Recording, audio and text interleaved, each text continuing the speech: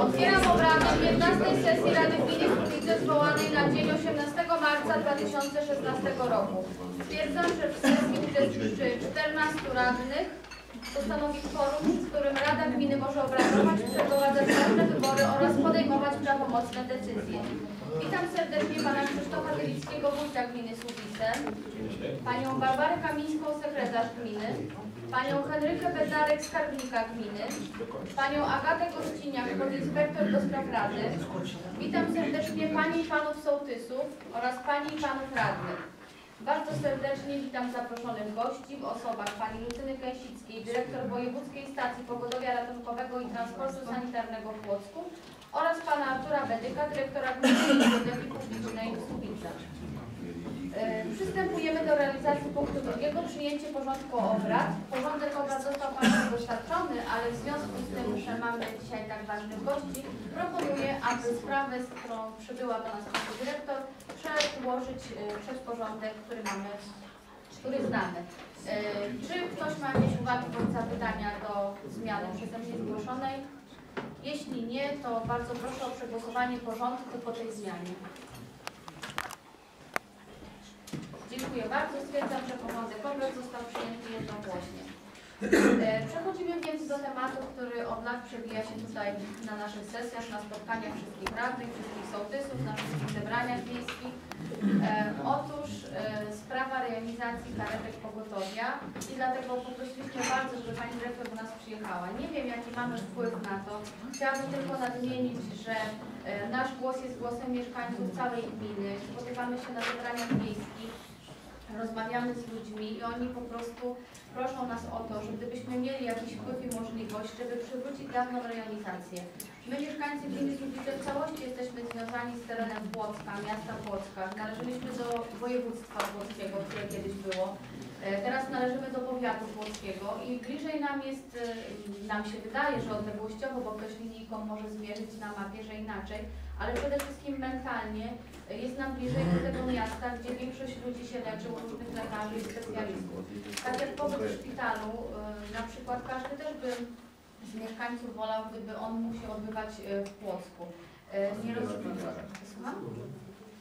Tutaj mamy niestety sochaczek i na przykład ludzie starsi, którzy nie mają możliwości poruszania się własnym transportem, czy takich rodzin, które się nimi opiekują, naprawdę trudno jest potem, żeby ktokolwiek dotarł nawet w odwiedziny. I to są po prostu argumenty e, takie, no można powiedzieć, może mało ważne dla niektórych, ale naprawdę w praktyce one okazują się bardzo ważne, bo okazuje się na przykład, że, że ta karetka, która teraz nas obsługuje, e, nie do końca zna czy teren, czy w ogóle i dlatego chcielibyśmy zapytać Pani Dyrektor, czy my w ogóle jako mieszkańcy gminy Słubice mamy taką jakąkolwiek szansę w przyszłości, żeby to się zmieniło tak jak było kiedyś. Czy Pani mogła nam to powiedzieć, to bardzo proszę. Dziękuję bardzo. Na samym początku to chciałam e, podziękować tutaj e, Panu Kołkowi, Pani Przewodniczącej za zaproszenie. Bardzo mi miło jest się z Państwem spotkać i rzeczywiście ten niepokój no, uważam, że no, jest jakby uzasadniony Państwa, bo ja również sama uważam, że ta jedna, bo to jedna gmina z tego powiatu nie należy pod pogotowie Płockie.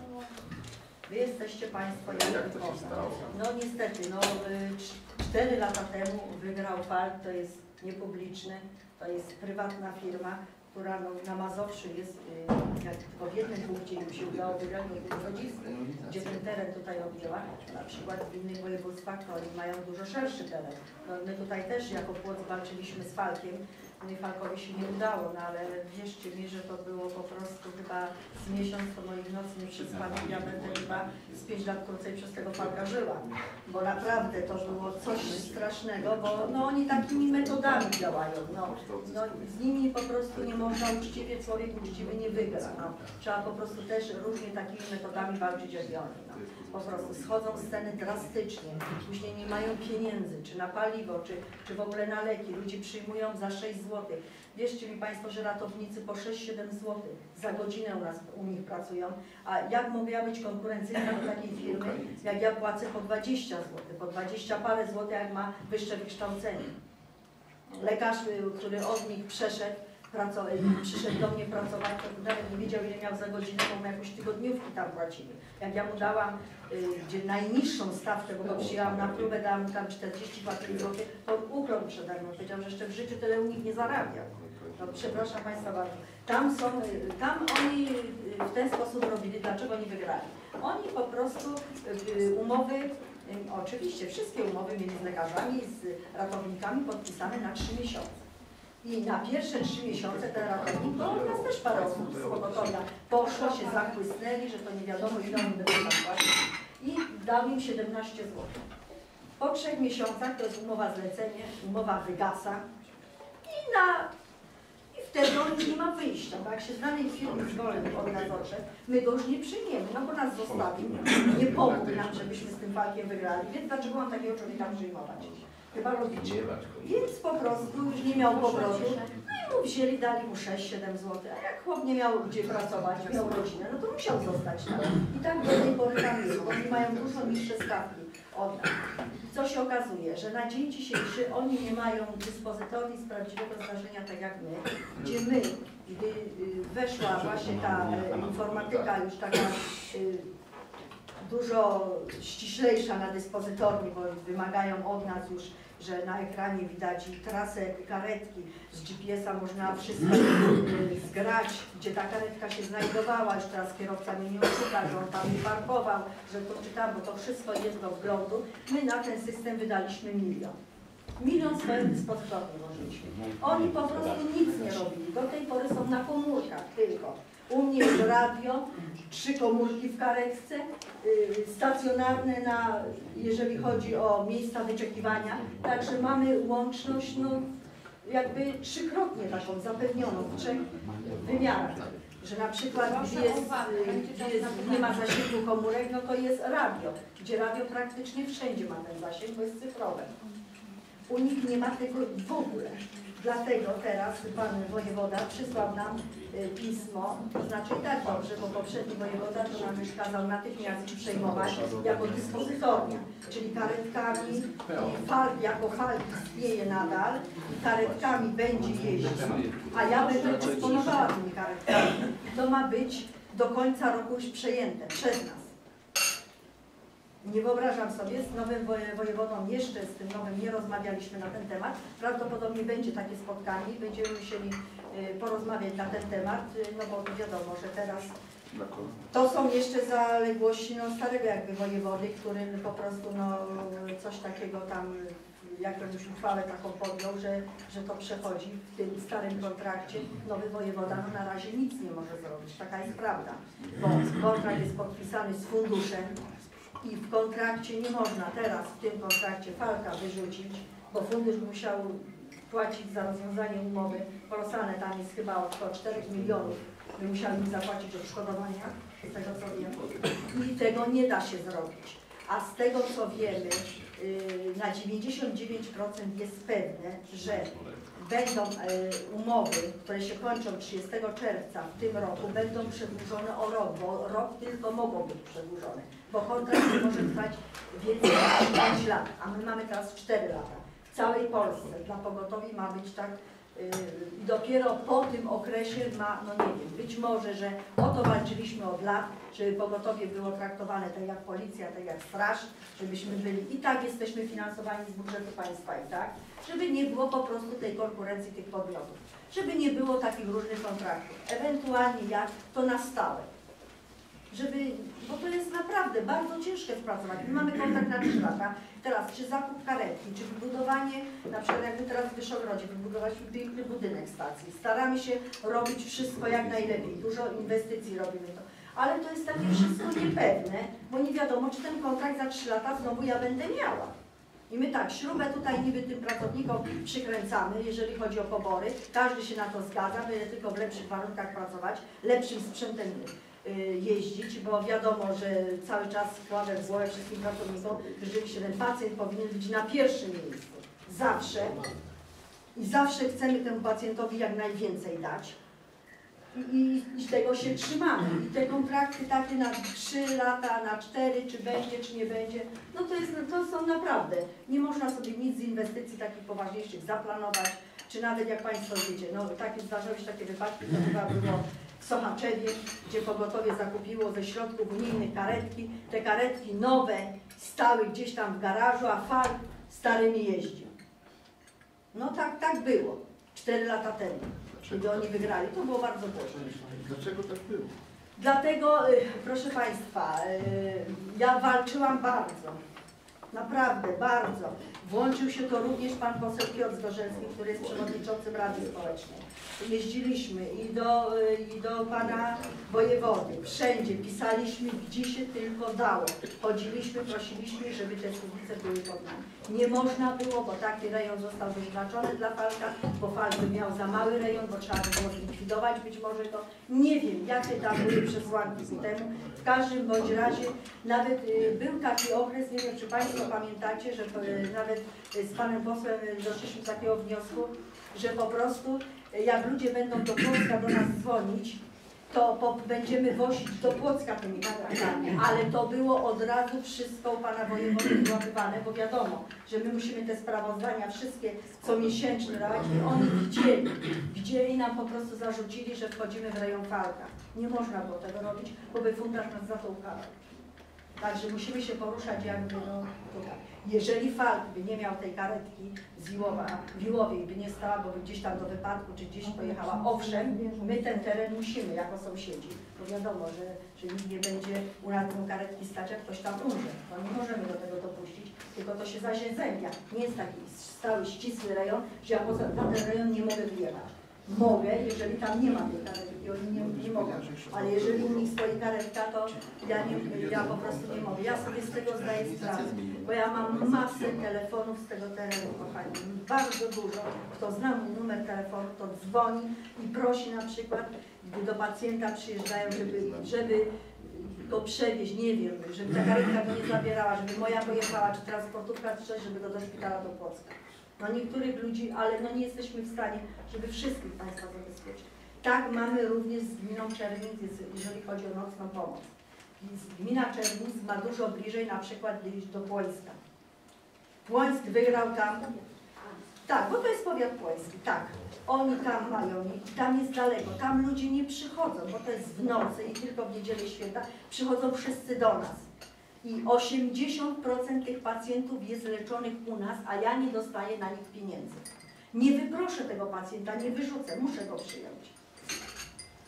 I to jest też tak, bo oni mają do nas bliżej i do nas chcą przychodzić. Bo teraz w tym Wyszogrodzie jeszcze przecież ten nowy budynek jest w ogóle, no tam jest naprawdę, jest y, komfort y, pracy jest dużo lepszy teraz dla lekarzy, i dla pielęgniarki. Ludzie chcą i przychodzą do nas. I też od nowego kontraktu będę się starała o ten czerwiec, bo dlaczego Płońsk bierze pieniądze, a do nich nie chodzą, tylko nas przyjeżdżają. Oni nie chcą do tych Płońska. My ich przyjmujemy i oni wiedzą, że my ich przyjmiemy. No bo jak chory człowiek ma temperaturę 40 stopni, czy przyjedzie z małym dzieckiem, no nie wolno go odesłać nigdzie, czy to jest mój czy nie mój. No tu, tutaj nie mogą zaważyć pieniądze na tym, no absolutnie. To nie będzie pieniądz decydował o ludzkim życiu. No wydaje mi się, że tak nie powinno być w każdym razie. Ja tak uważam, że zawsze dążę do tego, żeby, żeby do tego nie doprowadzić. Ale proszę Państwa, jeżeli ten, no po prostu, no rok, bo to już yy, w następnym roku, pewno już od kwietnia, to albo od marca już będą jakieś tam postępowania się toczyć i wtedy Pan Wojewoda będzie musiał zorganizować i będzie, bo po każdym nowym kontrakcie są nowe plany.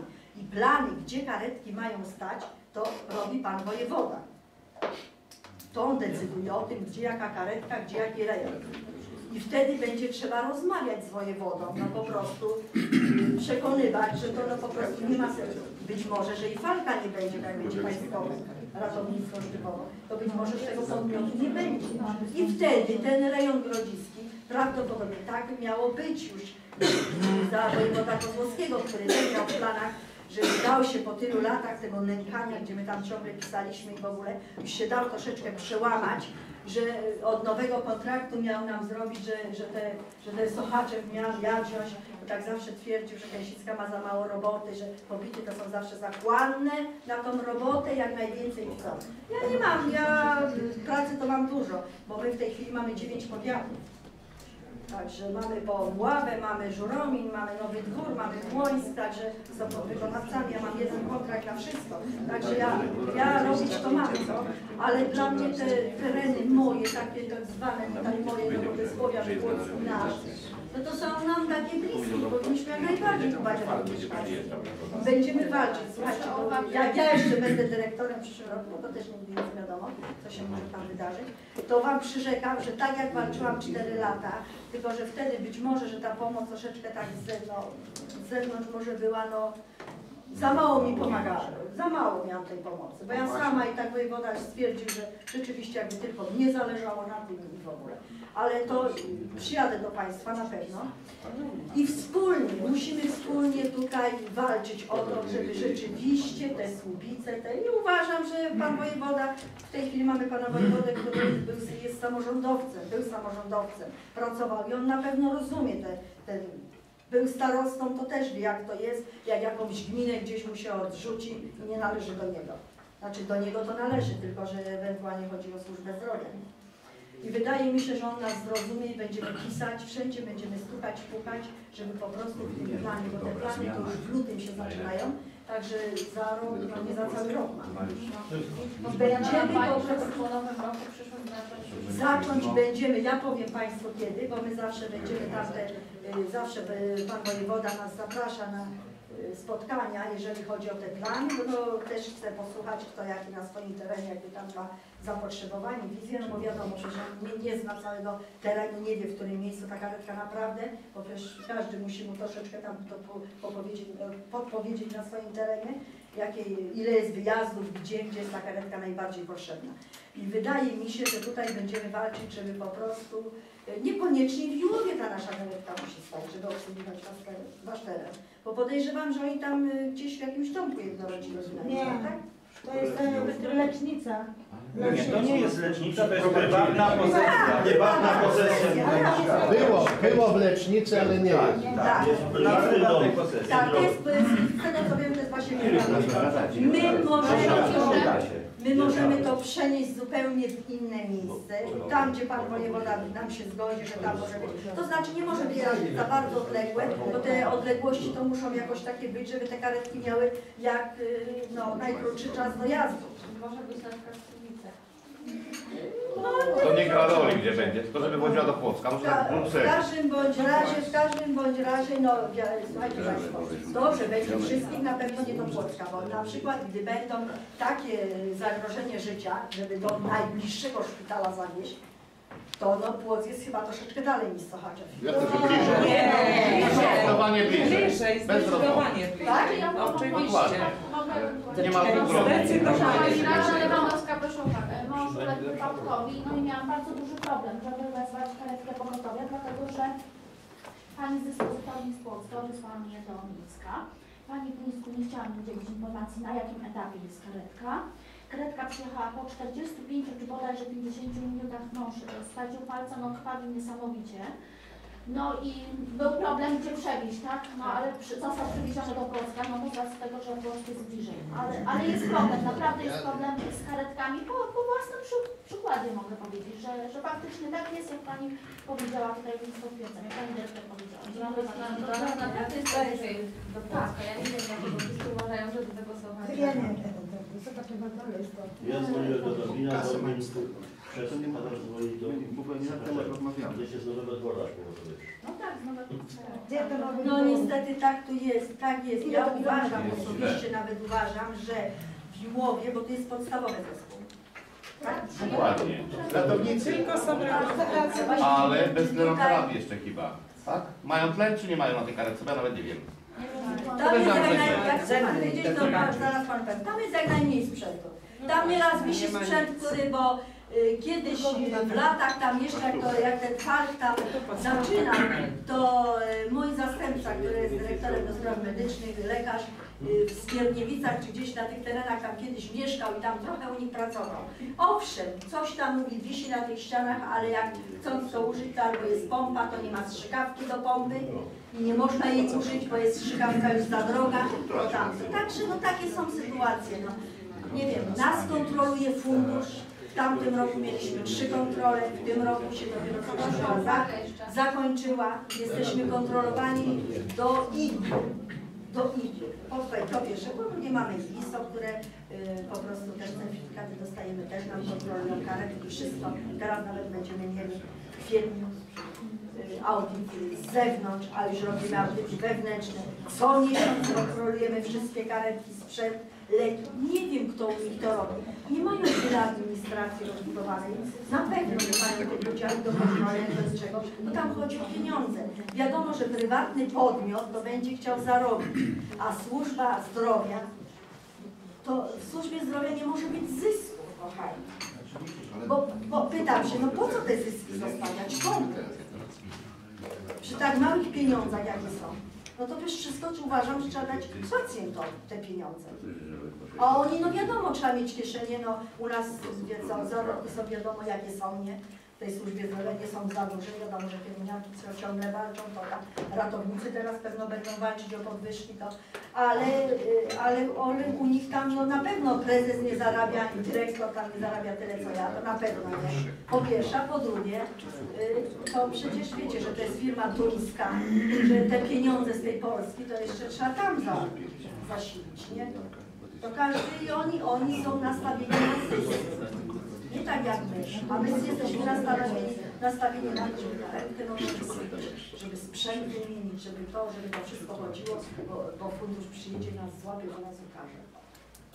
Tak, te fakty, o których Pani mówiła wcześniej, jak to było z tym Pankiem, to my tak trochę znamy i wiemy, że Pani była zawsze po naszej stronie.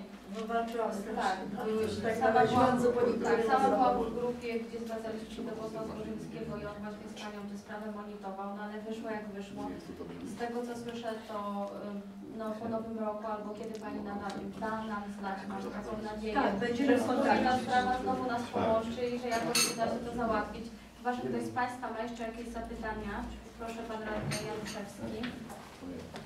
Szanowna Pani Dyrektor, dziękujemy bardzo za przybycie i tutaj przedstawienie nam tych wszystkich faktów, o których Pani nam tutaj powiedziała. Natomiast e, powiem tak, że w pewnym sensie ubolewamy trochę nad tym wszystkim z tego względu, bo Pani tutaj w swojej wypowiedzi taki jeden wątek zaznaczyła, że walczyła Pani, natomiast dodatkowo z zewnątrz nikt zbytnio się tym nie interesował. Albo być może miał jakiś interes w tym, żeby się nie interesować gdyż było coś tam od góry ustalone i praktycznie rzecz biorąc, jak to zwykle bywa, e, ktoś komuś nie chce schodzić w, w przysłowiowe tam e, po prostu tory. Ufam i u, przypuszczam, że ufamy my wszyscy tutaj zebrani na tej sali, że będzie tak jak Pani Dyrektor do tej pory tutaj nam przedstawiała, będzie Pani się starała, żeby wreszcie zażegnać ten problem, który trwa już, no to nie jest e, tam rok czy dwa, tylko, tylko trwa 4 lata ten problem i żeby to wreszcie się wyjaśniło, bo tak jak Pani dyrektor zaznaczyła, pacjent jest najważniejszy. Najważniejszy jest człowiek bez względu na jakieś tam układy, czy to, czy to koleżeńskie, czy polityczne, czy jakieś, które podzieliły to, bo, bo normalnie tego zrozumieć nie można, gdy ktoś mówi nam, że występuje jako osoba decydująca, jako decydent z jednej strony, a z drugiej strony mówi, no nic się nie można zrobić, bo już tak zostało ustalone. No Szanowni Państwo, no, ktoś sobie w pewnym sensie prawdopodobnie zaprzecza, można powiedzieć, no bo z jednej strony decyduje, z drugiej strony mówi, że nic nie można zrobić. Ale jak Pani nam tutaj dziś przedstawiła, wszystko wskazuje na to, że były to jakieś czynniki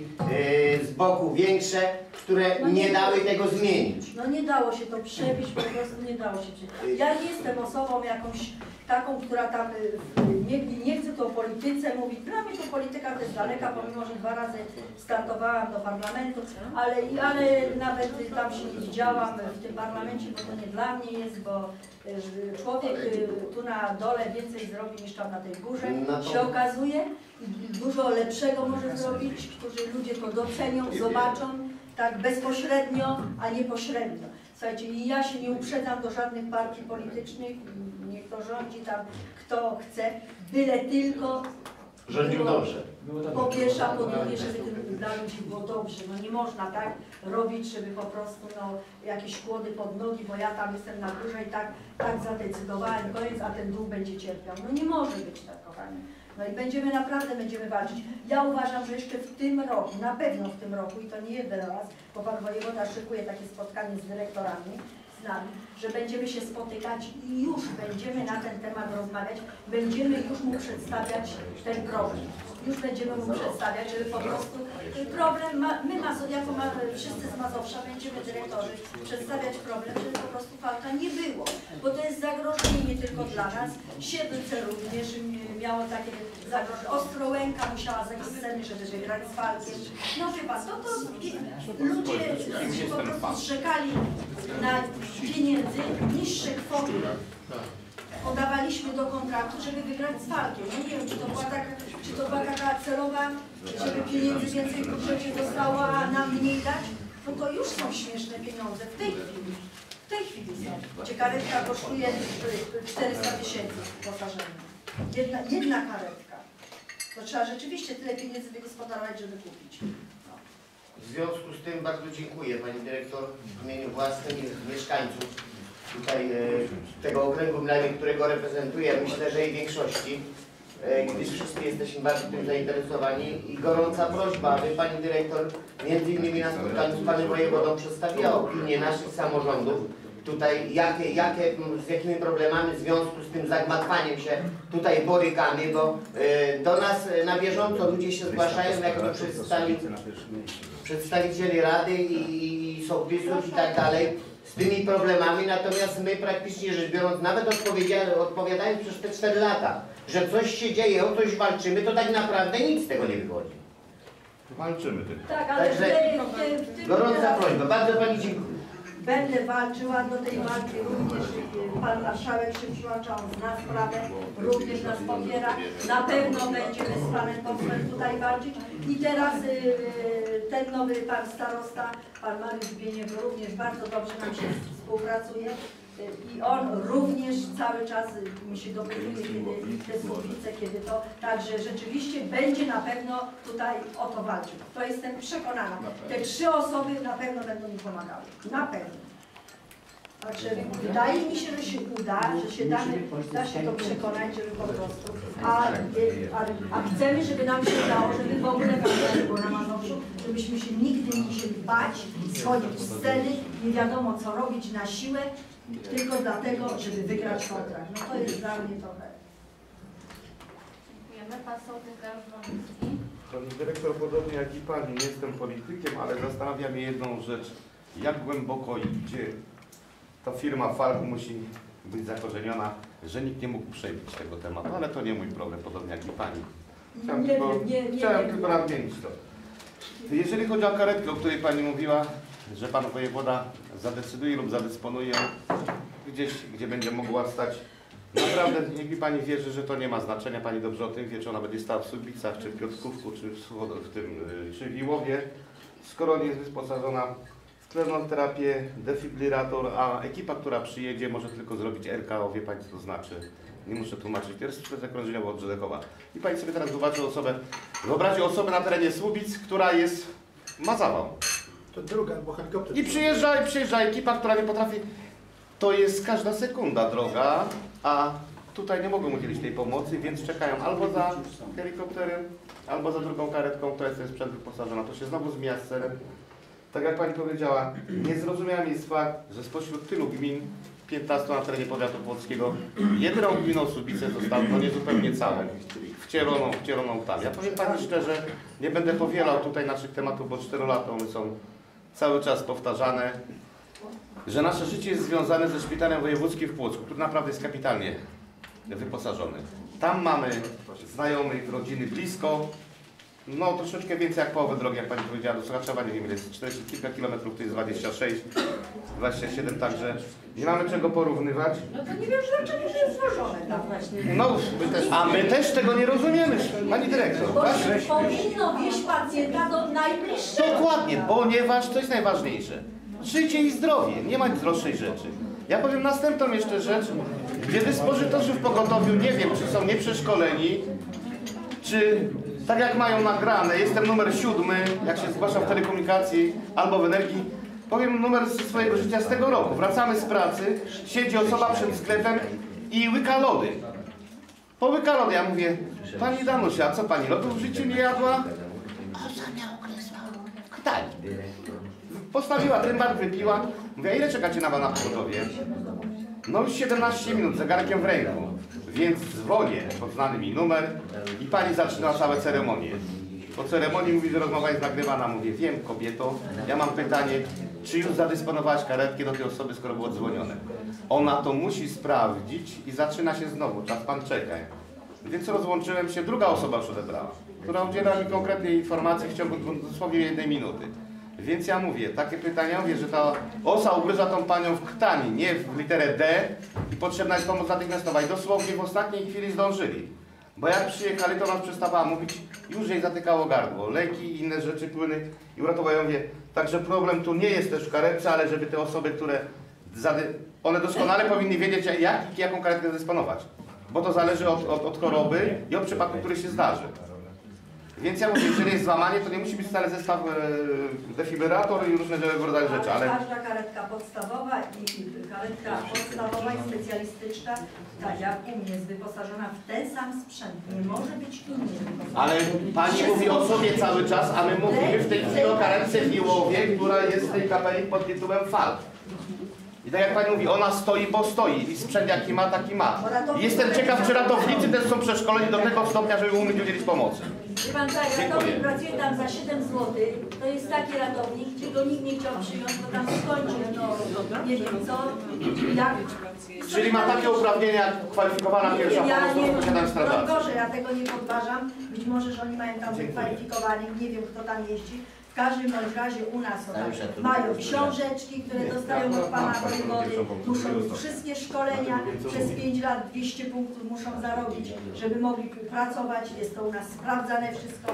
W tej chwili na przykład cały tydzień szkolenia dyspozytorów, które wzięliśmy firmę z zewnątrz, żeby ludzie nie jeździli po świecie i sobie zbierali te punkty i szkoleni byli, bo to jest dużo drożej i taki człowiek musi wziąć urlop, musi jechać. Sprowadziliśmy firmę tutaj na miejsce, mamy po prostu salę taką wykładową, specjalnie przystosowaną, mamy sprzęt y, do, na, do nauki. My y, wykładowców sprowadziliśmy w tej chwili przez cały tydzień u nas są wszyscy dyspozytorzy moi, bo wiadomo, że w jeden dzień wszystkich nie przeszkolę, bo ktoś musi siedzieć na dyspozytorze. I są cały czas szkoleni. Tak samo są szkoleni ratownicy. Nie wiem, czy tam ktoś, bo za te szkolenia trzeba płacić. Ja jako firma moja płacę ludziom za te szkolenia. Za podnoszenie kwalifikacji. Ktoś, kto studiuje w swoim kierunku danym, do, który się przydaje w naszym zakładzie, 50% za studia, za wszystko mają zwracane ludzie. No, no niestety, my, my dbamy o to, żeby, żeby się uczyli. Ja w tamtym roku wydałam 100 tysięcy na podnoszenie kwalifikacji pracowników. No, to nie jest mała kwota, słuchajcie, to nie jest mała kwota. Takie same pieniądze wydajemy na umundurowanie ludzi. No. W Falku prawdopodobnie tam sobie każdy sam musi mundurek kupić, to jest prywatna firma. Tam nikt jest na umowę o pracę zatrudniony. Ja mam większość ludzi na umowę o pracę zatrudnionych w zakładzie. Także no to też jest inaczej. Też ci ludzie inaczej pracują, nie? Także no, no nie wiem, nie wiem, nie, nie będę ich tam ani oczerniać nic, bo nie znam tego, nie wiem. W każdym bądź razie no to się spotkałam z takim przypadkiem, że tam w ogóle w tej karetce nie ma. Jeżeli się u mnie są też podstawowe karetki, gdzie stoją, ale to na przykład w Wyszogrodzie jest, jak wiecie Państwo, SK, w Gąbinie jest SK. W miejscach, gdzie ta karetka ma duży obszar ludzi, to musi być SK, nie można P postawić tam. No bo lekarz musi, chociaż z jeden musi być, nie? No gdzieś. W mieście można mniej już mieć, z tego względu, że tymi podstawowymi można się, bo wiadomo, jest tam takie są schorzenia, że podstawowe musi. Z tym, że do zespołu podstawowego, gdzie są gdzie jest dwóch ratowników, kochani Państwo, to trzeba po prostu już z kwalifikacji wyższe. Już tam u mnie na przykład to są magistrowie po licencjacie, nie po dwuletnim tam skończonym e, ratownictwo. Po dwuletniej jakiejś tam po, po średniej szkole. Dwa lata skończył ratownika. To, takich ludzi już trzeba wybierać. I tam trzeba robić kierownika zespołu w takim podstawowym, gdzie jemu się daje większe pieniądze, że on koordynuje tą pracę, pilnuje za to wszystko odpowiedzialny. Nie wiem jak jest w Falku, ale w takich zespołach musi to być. Bo w SC wiadomo jest lekarz i on za wszystko odpowiada i on jest kierownikiem. Ale w zespole podstawowym te, ci ludzie muszą mieć no, troszeczkę większe kwalifikacje, bo na przykład gdy jest słabszy ratownik w SC, no to wiadomo, jest tam lekarz i on tylko robi to, lekarz go zna i wie na co go stać i tylko takie czynności robi, żeby no krzywdy pacjentowi nie zrobić, wiadomo. Ale już w takim podstawowym zespole to oni są zdani sami na siebie. I jeżeli taki zespół sobie nie daje rady, bo są takie przypadki, gdzie pewnych leków ratownik nie może podać, to wtedy wzywają eskę i ona musi do pomocy przyjechać. Oni dbają, zabezpieczają, żeby temu człowiekowi się przez ten moment, kiedy ta eska przyjedzie, nic się nie stało, ale ta eska musi dojechać do nich i oni dopiero odjeżdżają wtedy, gdy przyjedzie drugi lekarz. No tak jest u mnie, takie są procedury. My mamy, no nie certyfikat jakości mamy i po prostu to są te procedury, procedury muszą być wykonywane. No to jest wszystko, nie wiem jak tam jest, naprawdę nie znam tego. Tam jest prawdopodobnie administracja, to się składa, no nie wiem, z ilu osób. Kto tam to wszystko robi, kto nad tym czuwa, kto to sprawdza, kto kontroluje. No u nas są ludzie, którzy jeżdżą, kontrolują. Teraz jak jechaliśmy tutaj, również spotkałam do Ląbina na kontrolę, jechała pani kierownik Martynowska y, z kierowcą, bo właśnie się, się zdziwiliśmy, dlaczego jakoś, że ktoś jedzie z naszym samochodem. No, nie, no na kontrolę jechali. No i raz w miesiącu ona objeżdża wszystkie te punkty, robi kontrolę protokołem i spisuje z tego i się po prostu wyciąga z tego konsekwencje no, z takiego protokołu, co było źle. Za tydzień się robi od nowa, sprawdza się, czy to jest naprawione. Jak nie naprawione, no to trzeba pewnie kogoś ukarać, no taka jest prawda. No. Przykra, ale no, no trzeba, niestety. Nie może być tak. Nie może być tak. Ja na przykład y, w tamtym roku był taki okres, że na początku roku trzech lekarzy w ciągu dwóch tygodni zwolniłam. No dzisiaj każdy mówił, a bo tam lekarze to nie. No być może, że pan mówili, że zołza, że to, że tam to trudno. No jak mi doktor mówi, że, że on się hamem urodził, hamem zdechnie, no to ja za hamstwo nie będę płacić, nie? No i trudno, no. Borykaliśmy się, mieliśmy ciężko, bo musiałam te, dy- te dyżury rozłożyć, ale trzech poszło od nas, naprawdę. No niestety, lekarze też się zwalą. Nie są też jakieś tam święte krowy za przeproszeniem. Lenarczyk. Ja mam pytanie do Pani Dyrektor. Co my możemy zrobić jako Rada Gminy, jako Urząd Gminy, żeby zmienić w przyszłości to, Pani może nam... Rejonizacji. Rejonizację, bo to jest główny problem i o tym musimy rozmawiać. Kto wygra przetarg, bo nie mamy na to wpływu. Tak, tak samo jak Pani nie ma. To nie ma.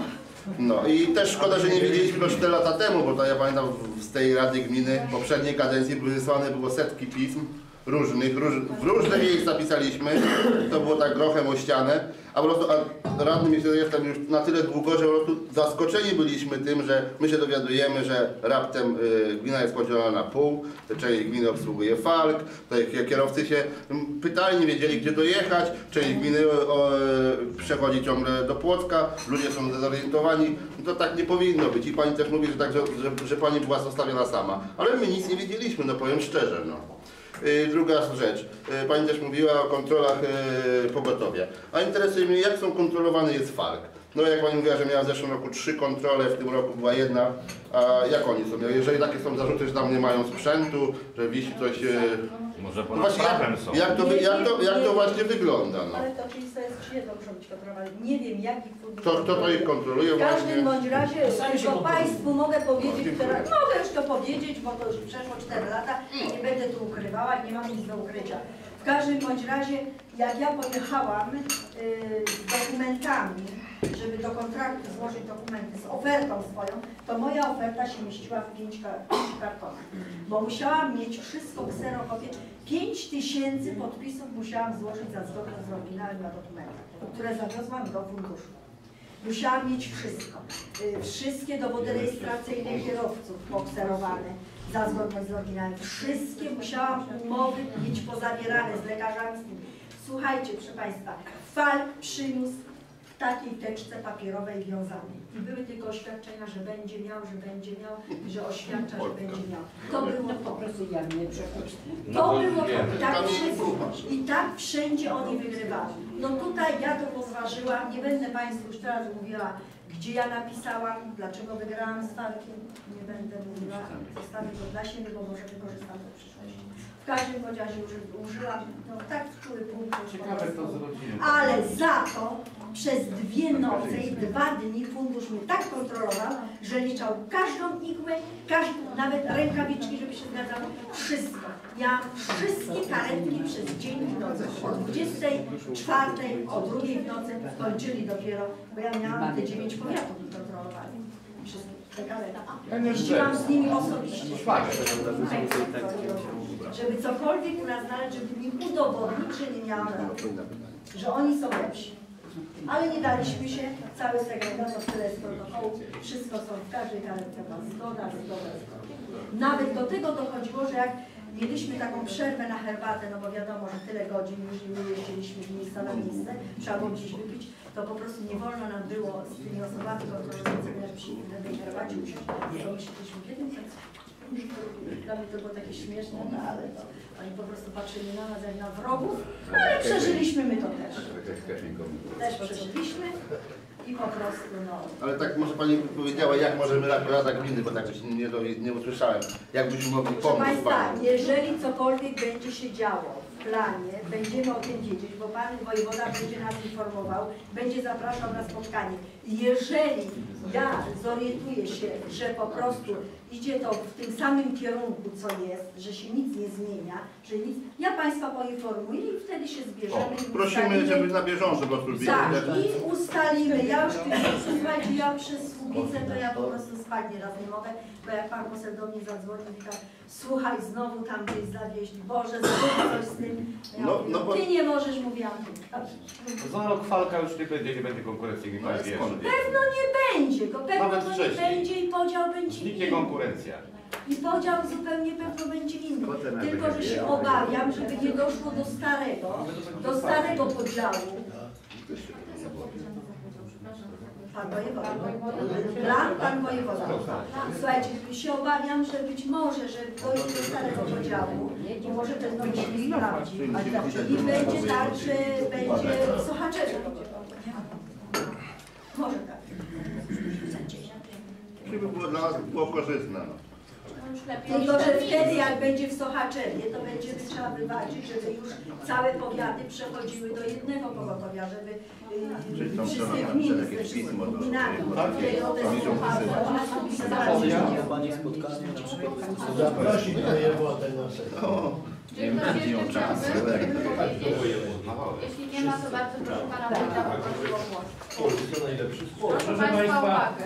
Myślę, że ta gaś informacja, którą tutaj Pani Dyrektor przedstawiła, troszkę Państwu rozjaśniła zasady funkcjonowania, obsługi tego terenu. Łatwiej jest zrozumieć pewne sprawy, chociaż e, często logika wskazuje inaczej, no ale fakty są e, takie, jakie są. Ja z tego e, tutaj spotkania, z tych pytań, wystąpienia Pani Dyrektor wysnuwam taki jeden bardzo optymistyczny akcent, że wizja Pani Dyrektor odnośnie obsługi tutaj naszej gminy Słubice jest zbieżna z wizją i mieszkańców, i Państwa radnych i myślę, że to będzie gwarantem naszych wspólnych działań, żeby ten stan rzeczy w przyszłym roku zmienić, działań, które już się powinny praktycznie w styczniu rozpocząć i e, uważam, że to jest ten e, najważniejszy e, efekt tego dzisiejszego spotkania, że mamy wspólny, zbieżny cel. Jak to już mamy, myślę, że inne rzeczy będzie troszkę łatwiej osiągnąć. A mogę Dziękuję. Wam na dzień dzisiejszy to mogę Wam tylko obiecać to, że jak przejmiemy jako dyspozytoria tego falka, to też w jakiś sposób będziemy próbowali Wam pomóc. Bo wtedy dyspozytor będzie o tym decydował, a nie ten, co w karetce siedzi. Bo karetką dysponuje dyspozytor, nikt więcej. Nikt więcej nie może dla dyspozytora. Nawet lekarz. Tylko co dyspozytor powie, on może, jeżeli dyspozytor się pomyli, to on może później z nim dyskutować, ale nie wolno mu jest dyskutować w trakcie, tylko ma im zawieźć pacjenta, znaczy jechać tam, gdzie dyspozytor każe. Także tutaj po, Tutaj chciałem też Pani podziękować, mimo że to rejon mamy inny, ale za, za to współdziałanie, które mieliśmy w różnych dziedzinach, chociażby pomoc przy więzieni, chociażby e, ta obecność karetki, ten pokaz. e, Nie było to obligatoryjne, że tak powiem, mimo wszystko to w jakiś sposób zapytali. Dostrzegane i myślę, że to już jest ten, ten cenny skarb, który mamy na wstępie, a miejmy taką nadzieję wszyscy, że rozpoczęte działania w przyszłym roku przyniosą taki efekt, jakiego Ja też mam taką nadzieję. Jeszcze raz Dziękuję bardzo. Ja też dziękuję bardzo Pani Dyrektor, że odpowiedzieć na to nasze zaproszenie i spotkać się z nami tak oko w oko i powiedzieć to wszystko tak od wnętrza. Także bardzo dziękujemy Pani za obecność. Wiem, że Pani na pewno zaraz nas Tak, opuści. Zarządzam wobec tego dosłownie 3-minutową przerwę. 3-minutową.